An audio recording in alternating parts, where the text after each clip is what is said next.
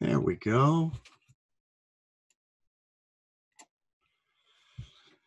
Oh, so um, the message today um, comes from Romans.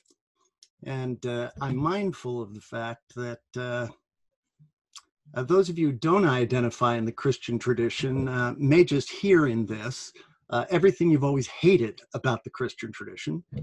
Uh, come to think of it, uh, if you do identify Christian, it may be all you've hated about the tradition too. Uh, for uh, Paul, you know, this is kind of the fire and brimstone stuff that the Apostle Paul comes up with. But nevertheless, I think he has something to say to all of us, maybe even particularly to those that I've heard do what I think is misinterpret the passage.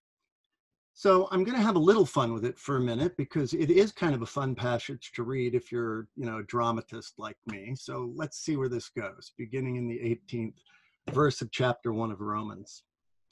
For the wrath of God is revealed from heaven against all ungodliness and wickedness of those who by their wickedness suppress the truth. For what can be known about God is plain to them because God has shown it to them. Ever since the creation of the world, God's eternal power and divine nature, invisible though they are, have been understood and seen through the things God has made.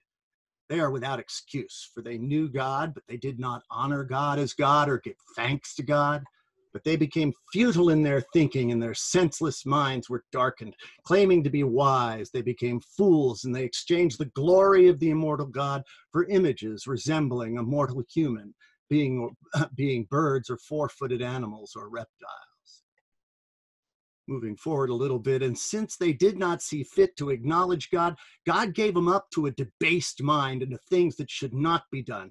They were filled with every kind of wickedness, evil, covetousness, malice, full of envy, murder, strife, deceit, craftiness. They're gossips, slanderers, God haters, insolent, haughty, boastful, inventors of evil, rebellious towards parents, foolish, faithless, heartless, ruthless.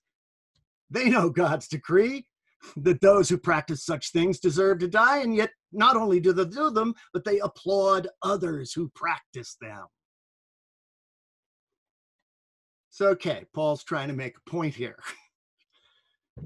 and it's kind of interesting because, uh, of course, you know, Paul is imagining a cosmology where there's a God up there who is acting in very particular ways who's throwing down God's wrath, you know, lightning bolts from heaven, so to speak. And, you know, frankly, I just don't think that flies anymore.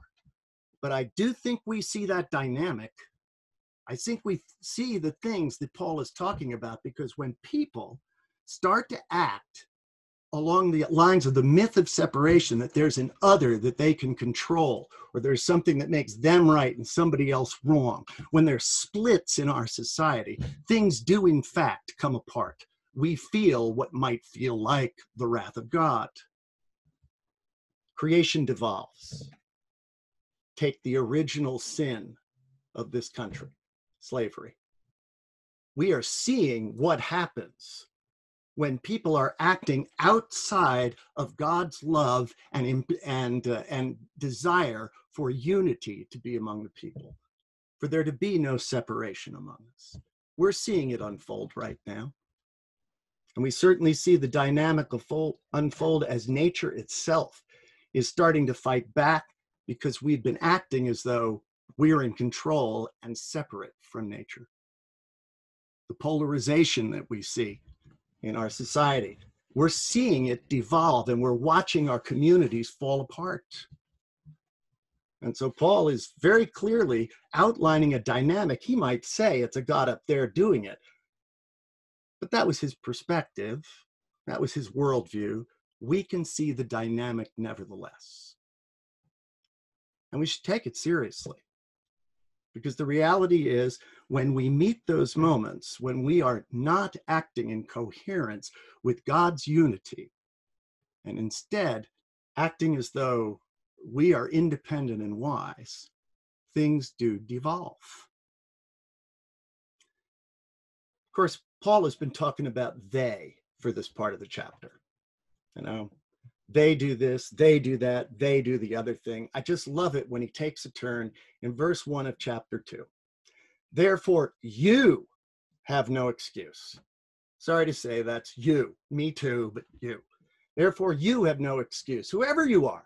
When you judge others, for in passing judgment on one another, you condemn yourself because you, the judge, are doing the very same things.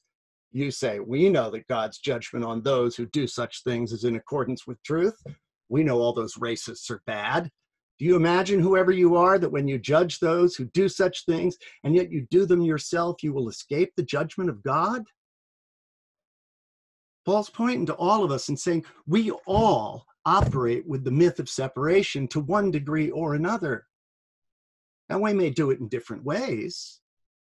I, I, I may not do the kinds of things that my Republican friends might do, but I do other things. I'm judgmental. I get angry. I mean, every time I read a Donald Trump tweet, I live it. You know, there's a sense in which, though, when we make the other bad and we judge them cancel them, put them aside, that we are running into the very same problems that we would accuse somebody else of doing something with. It's less comfortable, but it's no less true when the mirror is turned on our lives and we can see the part that we play in the devolution of the society and the culture in which we live. That's just the way it is. But it's interesting now Paul gets to the heart of the matter. And I swear I have heard a hundred sermons on this passage, and I don't recall ever hearing a sermon that emphasized these, uh, these following verses, and they're the key to what Paul is talking about here. Do you despise the riches of God's kindness, forbearance, and patience? Don't you realize that God's kindness is meant to lead to your repentance? Don't you realize it? Now, Paul is a Jewish theologian. So when he starts talking about forbearance and patience and kindness, you can bet he has the Hebrew word chesed in his mind. This is the way the Jews think of the nature of God's presence in the world. There's an orientation of loving kindness, of steadfastness, of compassion. This is what comes at us from the presence of God. So, what Paul is seeing here is a balance. On the one hand, yes, there is something that feels like wrath when, when things are not filling out and unifying. Things do, in fact, fall apart. It's almost the way creation's set up. But God's orientation is different than that. I remember years ago, I was preaching a, a children's sermon, and there was a, a, little girl, four years old, named Angela. And uh, I had Angela uh, raise her fist in the air, and I said, Yeah, okay, there we go. Four year old fist, that's the wrath of God. Right. And then there was a, a guy who used to walk up with the kids for the children's sermon. His name was Paul Gabicki. Uh, he was a Secret Service agent who used to guard uh, the first George Bush six foot two, 220 pounds, strong, big. I said, okay, Paul, would you please put your hand over Angela's? And this giant paw comes over and swallows up her little hand. That's the chesed of God. The orientation of the presence of God. That's what this is about. And the Apostle Paul's saying that it's that, it's that compassion that allows us to shift and change and repent. It is not judgment and annihilation and cancel culture that's going to get the job done. We saw just a little example of that over the last couple of weeks. Some of you may uh, be sports fans, some of you not. A guy named Drew Brees, who's a quarterback for the New Orleans Saints, very well known quarterback. It doesn't really matter that he's a famous quarterback, he's just a public person. And so we saw him wrestle with something in public. And it struck me that repentance played a role and how it came about. A couple of years ago, um, during the Colin Kaepernick um, uh, protests, uh, Drew Brees spoke very strongly about never kneeling when the flag was and when the national anthem was being played. And he doubled down on that in an interview last week. He said, I'll never agree with anybody disrespecting the flag of the United States of America, our country. let me just tell you that what I see or what I feel when the national anthem is played, that when I look at the flag of the United States, I envision my two grandfathers who fought for this country during World War II, one in the Army, one in the Marines, both risking their lives to protect our country and try to make a country and this world a better place. So every time I stand with my hand over my heart, looking at the flag, singing the national anthem, that's what I think about. And in many cases, that brings me to tears, thinking about all that has been sacrificed, not just those in the military, but for that matter, those throughout the civil rights movements of the 60s, and all that's been endured by so many people up to this point. And is everything right with our country now? No, it's not. We still have a long way to go, but I think what you do by standing there and showing respect to the flag with your hand over your heart, it shows unity. It shows that we are all in this together. We can all do better that we are all part of the solution. Well, you can guess that he got a little blowback. And two days later, he apologized. And I don't think this is one of those apologies that came because, you know, he was bothered by criticism. It doesn't sound that way anyway. I would like to apologize to my friends, teammates, City of New Orleans, Black community, NFL community, and anyone I hurt with my comments yesterday. In speaking with some of you, it breaks my heart to know the pain I've caused. In an attempt to talk about respect, unity, and solidarity centered around the American flag and the national anthem, I made comments that were insensitive, completely missed the mark on issues we are facing right now as a country. They lacked awareness and any time of any type of compassion or empathy. Instead, those words have come to be divisive and hurtful and have misled people into believing that somehow I'm an enemy. This could not be further from the truth, and it is not an accurate reflection of my heart or my character. Now, naturally, President Trump had to tweet and say, What a horrible mistake you made by going back on your apology uh, by uh, apologizing for what you'd originally said. And then he said something that I just struck me. He responded to Trump through my ongoing conversations with friends, teammates, and leaders in the Black community. I realized this is not an issue about the American flag. It's never been. We can no longer use the flag to turn people away or distract them from the real issues that face our Black communities. We did that back in 2017, and regretfully, I brought it back with my comments this week. We must stop talking about the flag and shift our attention to the real issues of systemic racial injustice, economic oppression, police brutality, and judicial and prison reform. The real key to that to me was the first sentence. Through my ongoing conversations with friends, teammates, and leaders in the Black community. I wish I had a transcript of those phone calls and conversations. But even without one, I can guarantee you that they were painful, that anger was expressed, but there was not that final cut them off judgment because if there had been, it would have just turned into a screaming match. No, there was forbearance, there was patience, there was compassion.